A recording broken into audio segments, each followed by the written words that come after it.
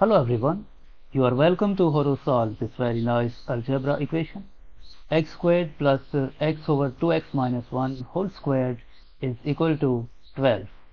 We need to find all possible values of x. So let's start. x squared plus this x over 2x minus 1 whole squared will become x squared divided by 2x minus 1 whole squared is equal to 12. Now we can write the denominator of this x squared 1 and we take the LCM of this one and this 2x minus 1 whole squared. The LCM of LCM of 1 and 2x minus 1 whole squared is 2x minus 1 whole squared and when you divide this LCM by this one we get this expression. So we multiply this x squared by this expression. X squared times 2x minus 1 whole squared. This plus will come here. And we divide this expression by this expression we get 1 1 times this x squared x squared is equal to 12 x x squared times we expand this to x minus 1 whole squared. This will become 4x squared minus 4 times x plus 1 plus this x squared divided by 2x minus 1 whole squared is equal to 12 now this x squared times 4x squared will become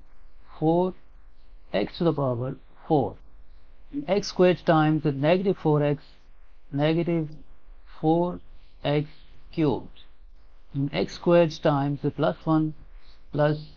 x squared plus this x squared divided by 2x minus 1 whole squared is equal to 12 x 4 x to the power 4 minus 4x cubed. This uh, 1x squared plus uh, 1x squared will become plus 2x squared divided by 2x minus 1 whole squared is equal to 12 next 4x to the power 4 from these two terms uh, we can factor out 2x squared minus 2x squared as common factor and in bracket left 2x minus 1 divided by 2x minus 1 whole squared is equal to 12 Now this expression at the left hand side can be written as 4x to the power 4 divided by 2x minus 1 whole squared minus 2x squared times 2x minus 1 divided by 2x minus 1 whole squared is equal to 12 now this uh, 4x to the power 4 can be written as uh, 2x squared whole squared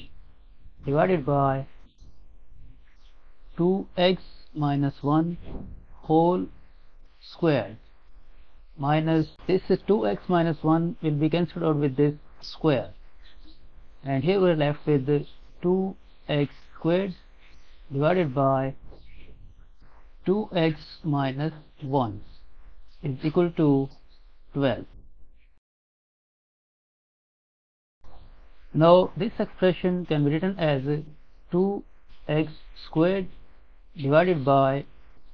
2x minus 1 whole squared minus this expression 2x squared divided by 2x minus 1 is equal to 12 now here inside the parentheses we have same expression 2x squared over 2x minus 1 and here we have same expression 2x squared over 2x minus 1 so we suppose that let 2x squared over 2x minus 1 is equal to m. And we substitute m in this equation then this equation will become m squared minus m is equal to 12 now we move this 12 to the left hand side then this will become m squared minus m minus 12 is equal to 0 now this quadratic equation is factorable. We write this m squared m squared and we split this uh, negative m as we split this negative m as negative 4 times m plus uh, 3 times m. Minus 12 is equal to 0 from these two terms uh, we can factor out m. And in bracket left m minus 4 from these two terms uh, we can factor out plus 3 in bracket left m minus 4 is equal to 0 from here this uh, n minus 4 this n minus 4 is a common factor. So we factor out this m minus 4 and uh, in bracket left uh, this m and this plus 3 in bracket left m plus 3 is equal to 0 from here either this expression m minus 4 is equal to 0 or this expression m plus 3 is equal to 0 from here we get the value of m is equal to 4 and from this equation we get the value of m is equal to negative 3 now recall that we have supposed we have supposed that 2x squared over 2x minus 1 is equal to m we have supposed that 2x squared over 2x minus 1 is equal to m so when m is equal to 4 then this equation will become 2x squared over 2x minus 1 is equal to 4 and if we multiply both sides by 2x minus 1 this implies that uh, 2x squared is equal to 4 times 2x minus 1 next 2x squared is equal to 4 times 2x 8x and 4 times negative 1 negative 4 we move these two terms to the left hand side this will become 2x squared minus 8 times x plus 4 is equal to 0 and from here if we divide both sides by 2 this equation will become x squared minus 4 times x plus 2 is equal to 0 now this quadratic equation is not factorable so we solve it by quadratic formula. According to quadratic formula x is equal to negative value of b negative 4 plus or minus square root of in place of b squared we write negative 4 squared minus 4 times in place of a we write 1 times in place of c we write 2 divided by 2 times in place of a we write 1 next x is equal to negative times negative 4 will become positive 4 plus or minus square root of this negative 4 squared is 16 minus 4 times 1 times 2 8 divided by 2 times 1 2 and x is equal to 4 plus minus square root of 16 minus 8 8 divided by 2 x x is equal to 4 plus minus this square root of 8 will become 2 times square root of 2 divided by 2 from here 2 one time 2 2 times 4 and 2 one time so from here we get the two values of x x1 is equal to 2 plus uh, root 2 and uh, x2 is equal to 2 minus root 2 when m is equal to negative 3 then this equation will become 2x squared over 2 times x minus 1 is equal to negative 3 and if we multiply both sides by 2x minus 1 this implies that 2x squared is equal to negative 3 times 2x minus 1 next 2x squared is equal to negative 3 times 2x negative 6x